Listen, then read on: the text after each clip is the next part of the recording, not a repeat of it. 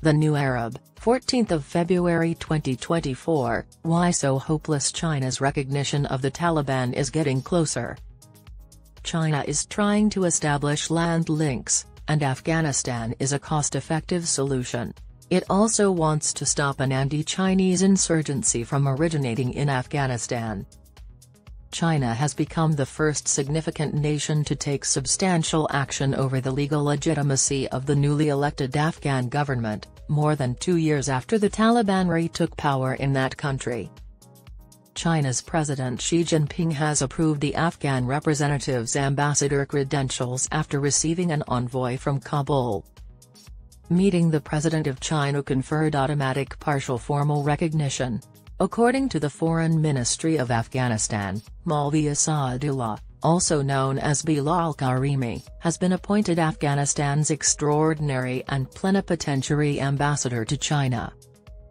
Wang Wenbin, a spokesman for the Chinese Foreign Ministry, explained that Beijing has always had diplomatic contacts with Kabul. He would not go so far as to say whether formal recognition had been granted, only that it was a normal diplomatic arrangement. Several regional governments, including China, Pakistan, and Russia, have kept their embassies in Kabul ever since the Taliban took control of the city. In the meantime, the Taliban progressively took over other Afghan diplomatic posts overseas, particularly those in neighboring nations. Because of this, the Afghan Taliban have embassies in 14 nations, including Tajikistan, Uzbekistan, and Pakistan, even though these states do not recognize their authority. The Taliban's demand for acceptance. Since assuming power in Kabul, the Taliban's top leadership has made no secret of its desire for official status. In its initial period of rule, 1996 to 2000, Saudi Arabia, Pakistan, which founded and funded the Taliban, and the United Arab Emirates recognized the group. The Taliban were an unproven force at the time, but this time around, their brutal reputation preceded them. As a result of their abuses of human rights, no nation has offered to recognize the authority formally. The regime is the target of political and economic sanctions from the US and the EU. The Taliban leadership wanted Islamabad to take the initiative because of its stronger links to Pakistan, which is its neighbor, but Islamabad opted to wait for a regional decision. Meanwhile, the majority of nations with a plurality of Muslims disapproved of the Taliban's views on women's rights. To make matters worse, relations between Pakistan and Afghanistan have been deteriorating lately due to militant assaults inside Pakistan from across the border with Afghanistan, which are then followed by Islamabad's expulsion of unregistered Afghan refugees to handle the security situation. Pakistan's delay in granting recognition was purportedly one of the reasons why the Taliban lost interest in suppressing terrorists.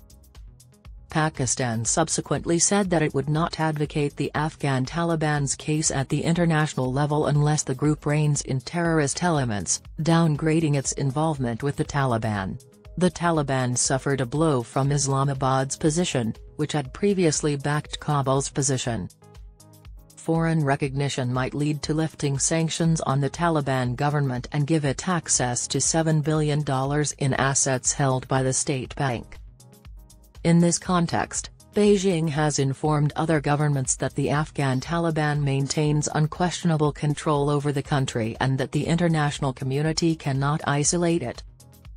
China's involvement in Afghanistan. China, one of Afghanistan's six central neighbors and a mighty nation, has set an example for other countries by formally recognizing the Afghan Taliban administration, indicating to them that it is heading away from the West. Beijing might strengthen its soft influence in Afghanistan with this audacious move.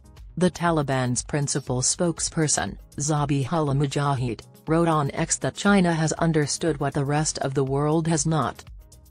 He continued, saying, We are not in a unipolar world, and he urged Russia, Iran, and other nations to do the same.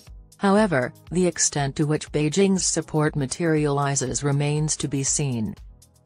China is pursuing its course with the AF Taliban and will continue to provide them with tiny gifts to maintain their trust until a regional consensus is reached. International relations specialist Harem Ashraf wrote on X that until then, China would continue to operate as an interim government with no new initiatives revealed. Naveed Ali Sheikh, an Islamabad-based research scholar and military relations specialist, told the New Arab that he thinks China is attempting sincerely to normalize the relationship between the Taliban and Afghanistan. Afghan authorities have several agreements with other countries, for example, keeping a door open for India. Indian diplomats quickly returned to Afghanistan after a brief midnight evacuation on August 18, 2021, he told TNA. The Chinese authorities have started training programs and courses for the Afghan side. Beijing has also eliminated the chance that Afghan territory will be used against it by intensifying its engagement with the Taliban. All of Afghanistan's neighbors are worried about the many terrorist organizations that are present throughout the country, remarkably close to its borders. Beijing's top goal is preventing security threats from a chaotic Afghanistan since both the US and Russia have expressed concern about international terrorist organizations operating there. Interestingly, Beijing made contact with Kabul during a turbulent period for Islamabad, Beijing's all-weather friend and its northwest neighbor.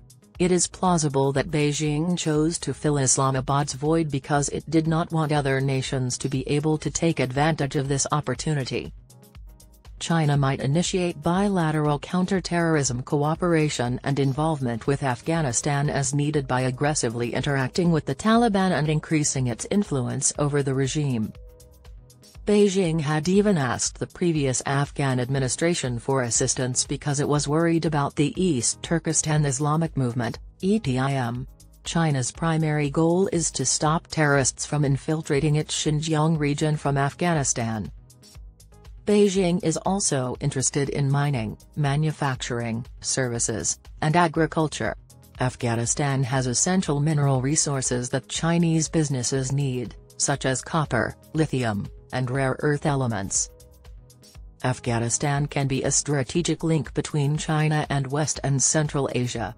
The present Afghan government has been preparing to open up the Wakhan corridor to China for travel by road, this route might be less time-consuming than the Karakoram Highway from Pakistan. To boost trade ties, Beijing has been attempting to expand the China-Pakistan Economic Corridor, CPEC, the centerpiece of the Belt and Road Initiative, BRI, to Afghanistan. Research scholar and military relations specialist Naveed Ali Sheikh told TNA that the Chinese were quick to reach out to the Taliban after the fall of Ashraf Ghani's government due to delays in CPEC projects and security issues from Afghan soil. They sought to investigate the possibility of using the Indian-built Route 606 or NH-49, a 218-kilometer route that connected Zaranj, Afghanistan, to Delaram, Afghanistan, and then to the port of Chabahar, Iran. The first Afghan shipment to China occurred in October 2021 and, surprisingly, consisted of 40 tons of pine nuts that required airlifting. The Chinese were also interested in establishing a land transport route, Although China was willing to invest in Afghanistan, it took a cautious approach to avoid suffering losses. Only one-third of the promised cash materialized, despite a Chinese energy business investing $49 million in Afghanistan's oil production last year, helping to increase the country's daily crude oil output to almost 1,100 metric tons.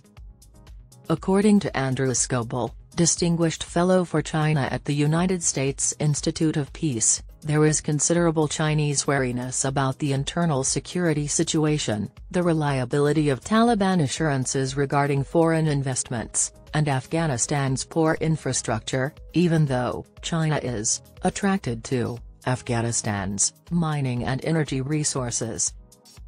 Sheikh pointed out other problems with the China-Taliban relationship by pointing out that China's Xinjiang Central Asia Petroleum and Gas Company, CAPES, signed a 25-year exploration deal with the Taliban and expressed interest in the American abandoned Amu Darya oil and gas fields in western Afghanistan.